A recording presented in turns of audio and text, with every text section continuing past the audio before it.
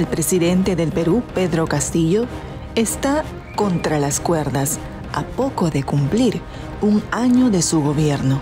Y son muchos los factores que produjeron este escenario. En primer lugar, una clase conservadora que todavía se resiste a perder el modelo económico que le dio tanto poder. Segundo, una prensa parcializada con la derecha política. Y por último, la falta de experiencia y capacidad de este maestro rural de primaria, devenido en jefe de Estado.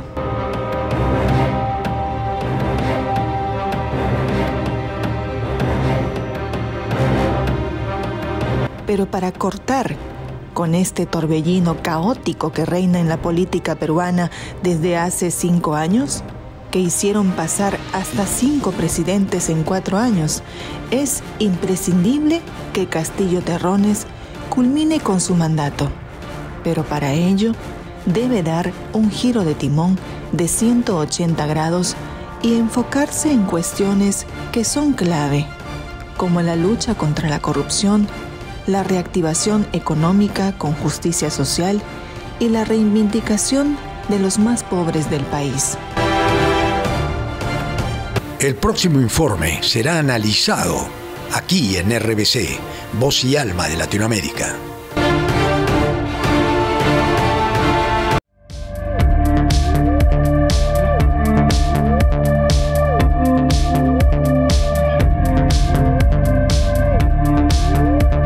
RBC, Voz y Alma de Latinoamérica.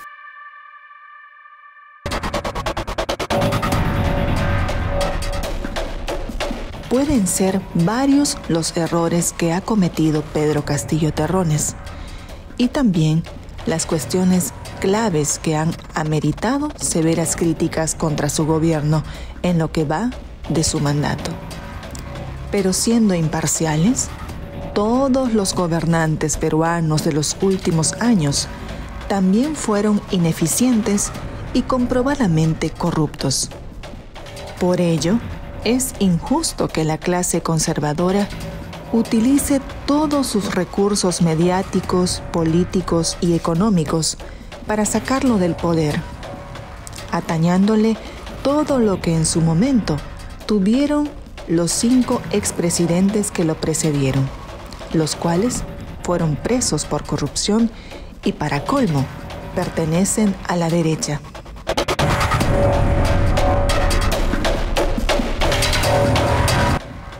Pero, para suerte del presidente peruano, hay un referente latinoamericano muy cercano que puede servirle de guía para lograr la tan ansiada y postergada transformación social y política del Perú y ese es Andrés Manuel López Obrador, un hombre que ha tenido a bien fijarse en la situación que pasa ese país sudamericano. Ya que como parte de los principios del programa de gobierno de AMLO, conocido como la Cuarta Transformación, se contempla la cooperación exterior para el desarrollo de otros países, pero siempre respetando la soberanía y la autodeterminación de los mismos.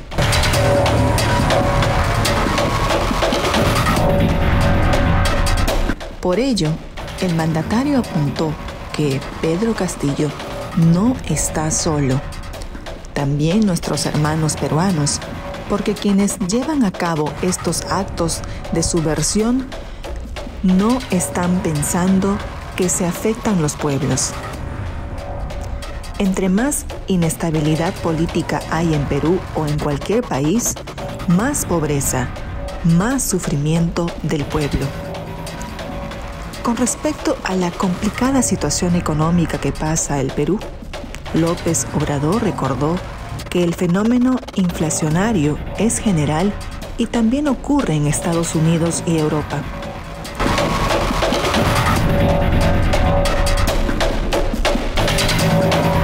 Eso no es culpa de él. Él acaba de entrar. Sin embargo, la verdadera doctrina del conservadurismo en cualquier parte es la hipocresía y la deshonestidad en el sentido amplio y en particular la deshonestidad intelectual, argumentó.